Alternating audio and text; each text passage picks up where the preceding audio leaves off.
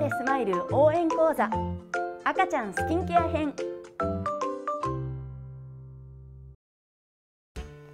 前回に引き続き赤ちゃんのスキンケアについてお伝えいたします。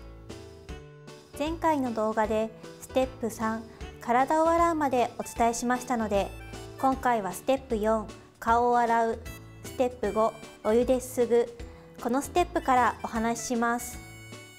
顔を洗う時は額や頬から洗いましょう。目や口周りはシャワーですぐに流せるよう準備をし手早く洗いすすぎましょう。顔に水をかけると驚いて泣いてしまう赤ちゃんがほとんどですからすすいだ後はタオルですぐ拭いてあげましょう。この時のポイントは体と同様にたっぷりの泡で洗ってあげることです。泡が少ないと泡が溶けて液体になってしまい目に入りやすくなってしまいます。石鹸が残ってしまうと皮膚トラブルの原因となりますので顔も体もよくすすぎましょう。特にシワのところは石鹸が残りやすいのでシワを伸ばしてよくすすぎましょう。ステップ6体を拭く。拭く時にはこすらないように軽く皮膚を押さえるように拭き取りましょう。拭き上がったら保湿に移ります。そもそも保湿剤をつけるとどのような効果があるのでしょうか？1つ目体内から水分が逃げるのを防ぎまた外からの刺激をバリアします。2つ目湿度が低い環境でも肌に水分が保たれるようになります。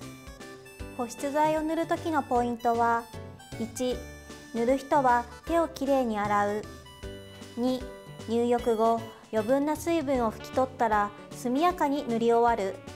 3たっぷりと皮膚にのせるように塗る。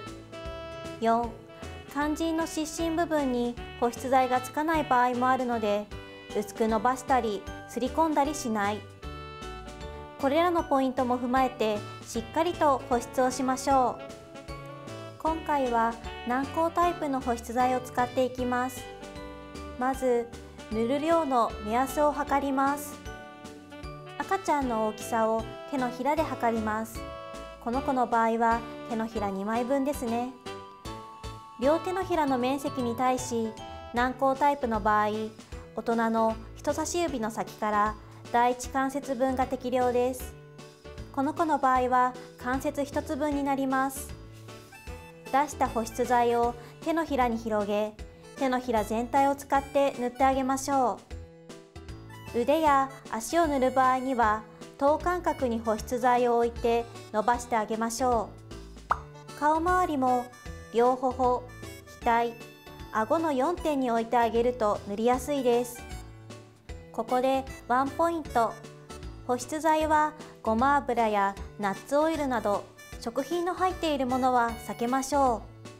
アレルギーを誘引するリスクがあります肌との相性が一番良いものを使用しましょう今回の動画では顔の洗い方保湿の仕方について紹介しました顔を洗う時はたっぷりの泡で洗ってあげること保湿は素早くたっぷりと保湿剤を塗ってあげることが大切なポイントです。